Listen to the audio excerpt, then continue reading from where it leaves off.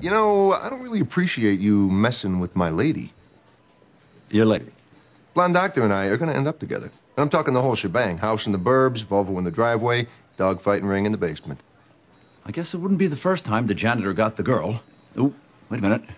Yes, it would. You want to place a wager? I do, but here I really have no need for a cracked thermos and two pounds of keys. How about my van for your Porsche?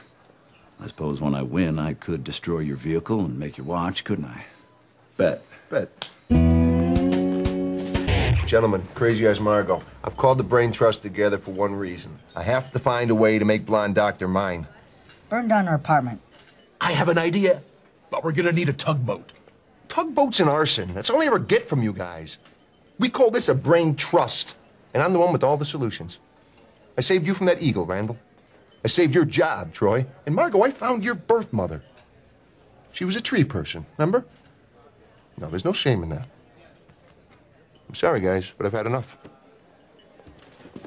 I'm afraid I have to find a new brain trust. Gentlemen,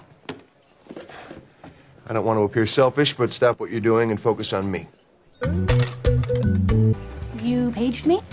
Yeah, look, I made a bet with Dr. Cox that you would go out with me, and if I win, I get his Porsche. And the success of those plans can take even the most hardened men by surprise. Do you mind? I am trying to have a private moment with my man. I gotta tell you there, Supercuts.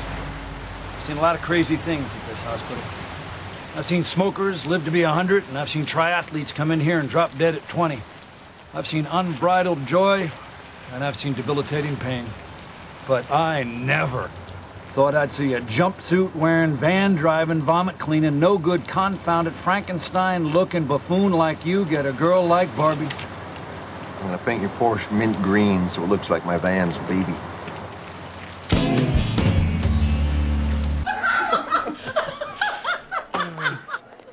Well, if it isn't marginally attractive and the beast, how did the Porsche drive? Wait, why did we just go out if you already have his car? Oh my goodness.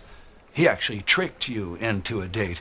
This is so very delicious and filling. I don't think I'm going to be able to eat the rest of the evening. In fact, I honestly don't think I can have one more bite of your painful humiliation. Um, I find I'm just a little stuffed. We'll take my keys to go, though. Yippee! See, that's the thing about trying to have your cake and eating it too. If you make the slightest mistake, you usually wind up getting neither.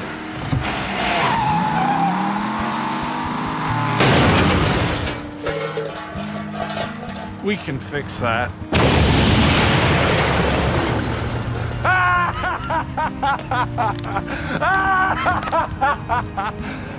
You guys are out. You guys are back in. Where's Margot? She's at a Ludacris concert with her birth mom.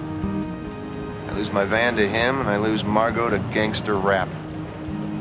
Bad day.